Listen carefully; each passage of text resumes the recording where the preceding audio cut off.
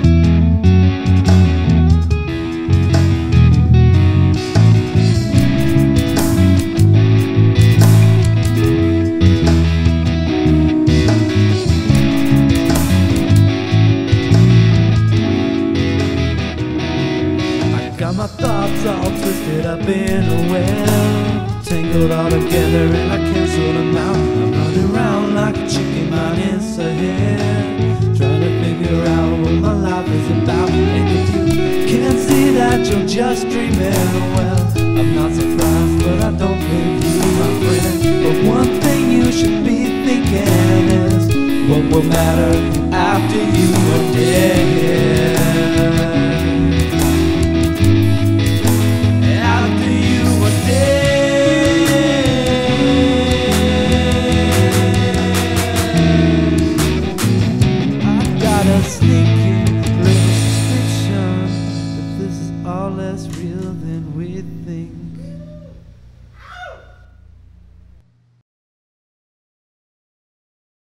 My name is John Poell.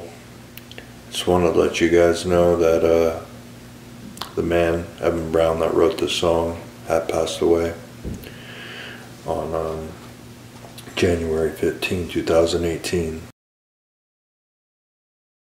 He got me through some of the hardest times in my life. I got him through some of the hardest times in his life.